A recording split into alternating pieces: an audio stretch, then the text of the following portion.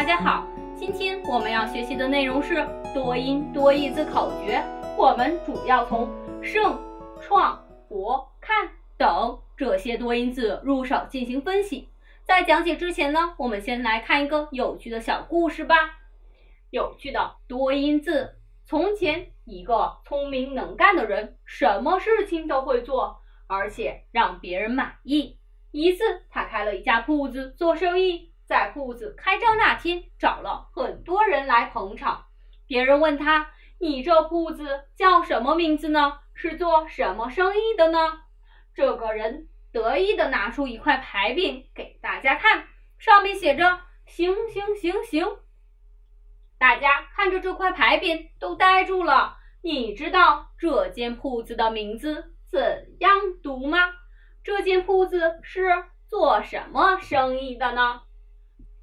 原来这个店的名字应该读作“行行行行”，意思是说呢，这是一间无论做哪一种行业都能做得好的店铺。前面两个“行”字呢，都是行业的意思；第三个“行”是可以能干的意思。第三个“行”是可以能干的意思，最后一个“行”是对某些营业机构的称呼，比如说银行。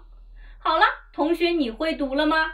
下面我们一起来看一下这个故事，告诉我们每个多音字都有不同的意思，我们一定要明白每个读音的意思，这样才能在生活和学习中正确的使用多音字。下面我们就一起来学习一下多音字吧。那么多音字是什么呢？它就是是指在不同的意义时，比如说在不同的词语或句子中有不同的读音的汉字。多音多义字呢，占多音字的绝大多数。好了，我们下面具体来看几个例子吧。首先，我们从这个字入手，它有两个读音，胜。和成，那么我们怎样来区分呢？我们来看一个例句吧。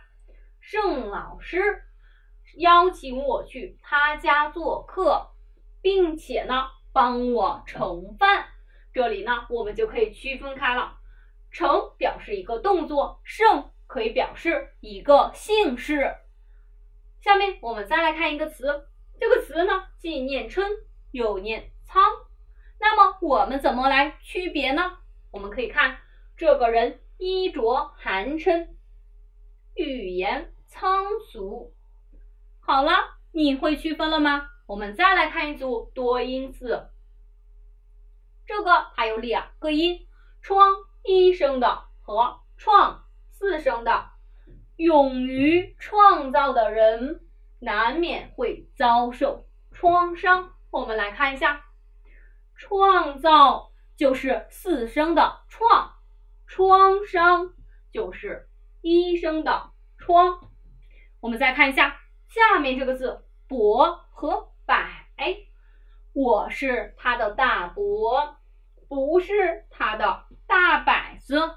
现在你会区分了吗？我们再来看一组“看”和“看”这两个读音，你会区分吗？看守大门的保安也很喜欢看小说。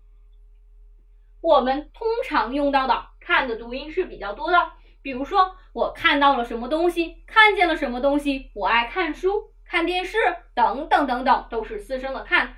看守呢，在这里是一声的，你会区分了吗？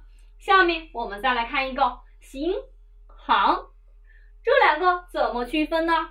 当我们在说银行的时候，它是“行”的读音，“行”就是发行，就是“行”的读音。我们一起来看这个句子：银行发行股票，报纸刊登行情。我们发现了，在读“行”的时候，一般是名词稍微多一些；而在读“行”的时候，一般通常指的是动作。好了，你会区分了吗？下面我们一起来练一练吧。你能给下列划线字选择正确的读音吗？